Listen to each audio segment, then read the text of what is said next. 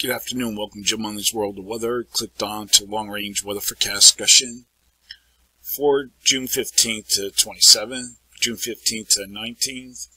The flow is forecast to become more amplified and less progressive across the nation as a ridge builds here off the west coast and a subtropical ridge spreads eastward from the southern and central plains into the Mississippi Valley. And we will have a persistent trough in the west and off the eastern coast. So we're going to show you this. This is the 15th. Here's our trough here. Here's our ridge. Here's our trough here in the east. So we're going to go forward in, in the days. And we come to the 19th. You can see here, here's the trough, here's the trough. And we have above normal heights here across the um, east central states.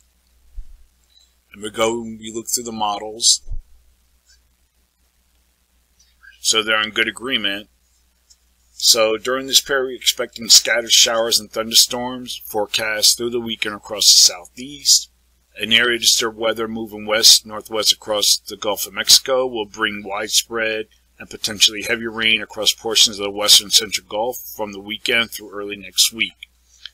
Some some um, storms and possibly heavy rains forecast for the northern plains into the Midwest and moisture associated with the remnants of Hurricane Bud should bring moisture into the southwest and the Rockies by the weekend, resulting in a possibility of heavy rainfall.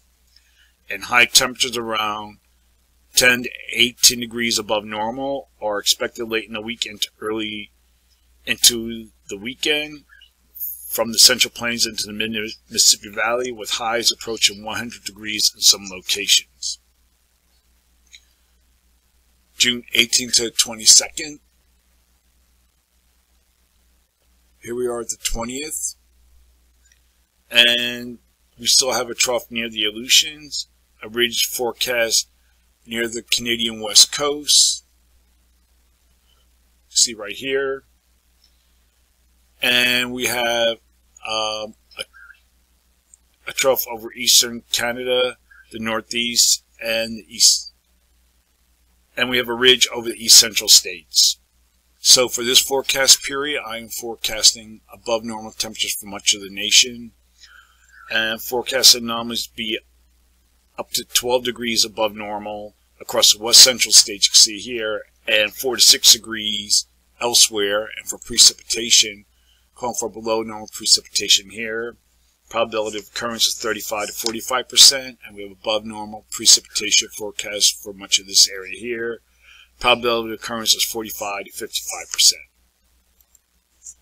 Now the period for June 23rd to 27th. Here at the 23rd.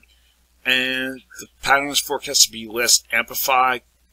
And we have above normal heights across much of the nation again. Fairly strong ridge is forecast near the west coast. Here's a ridge.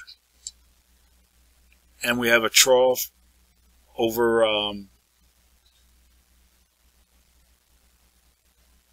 over eastern Canada and Greenland. And we go through the period. See very little change. And we look at the rest of the models. They're in pretty good agreement. Here's the main core of the westerlies.